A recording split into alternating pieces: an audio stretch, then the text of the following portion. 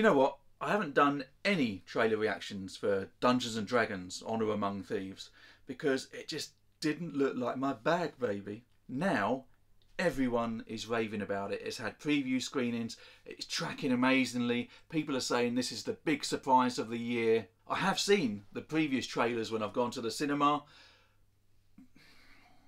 I don't know.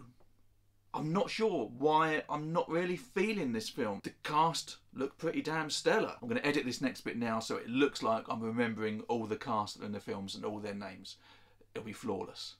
You got Chris Pine, Michelle Rodriguez, Regé-Jean Page. Is he going to be the next James Bond? Justice Smith, Sophia Lillis, and then Hugh Grant, I think, playing the bad guy. Hamming it up as the bad guy, if I remember from the other trailers.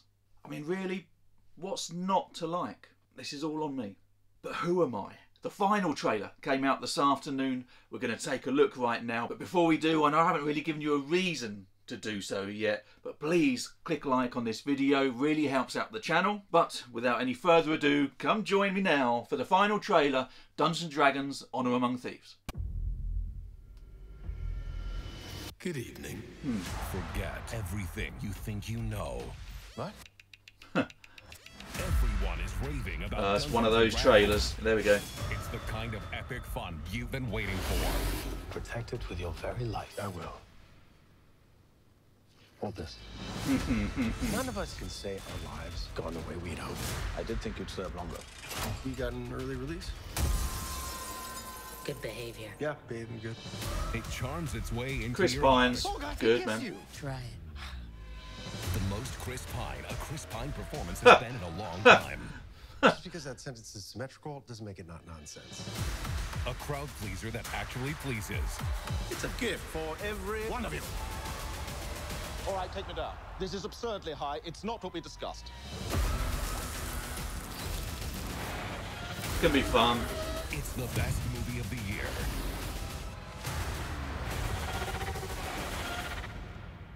Anything you want to add? I'm good. Dungeons and Dragons Honor Among Thieves. Only in theaters March 31st. Does look good, doesn't it?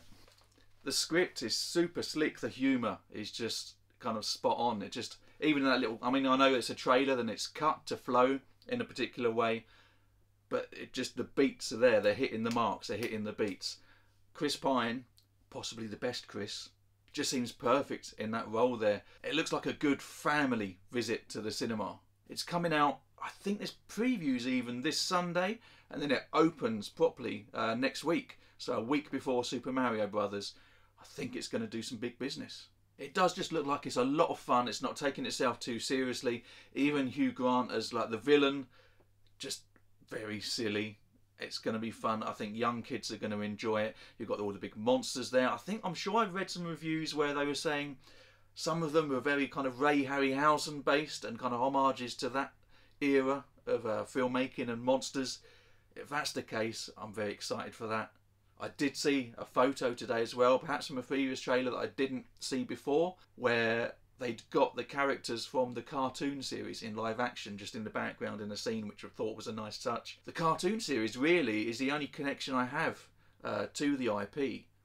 I don't think I ever played the game as a kid or an adult. I know my daughter was into it with her friends at one point, but I never really played it, never took the time out.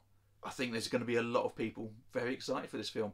The annoying thing is with these final trailers, I was worried. I saw it was only a minute long, and it's that thing they do it a lot now these days. Like once preview screenings or reviews are out, the final trailer isn't really giving you too much new.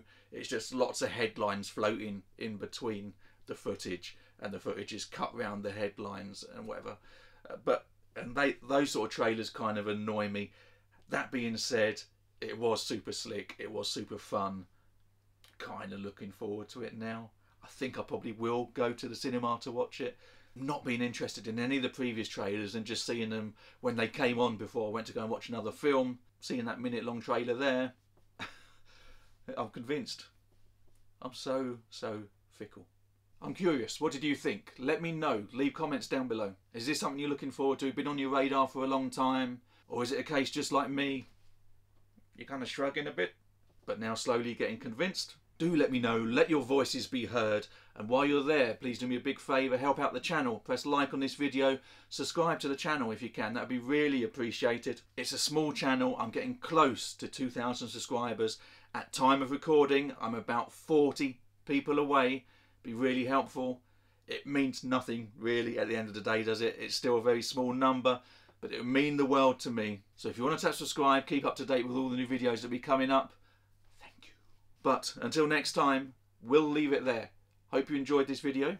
Hope you enjoyed that little trailer there. That little, little trailer there. Hope to see you again soon. Take care. Bye bye.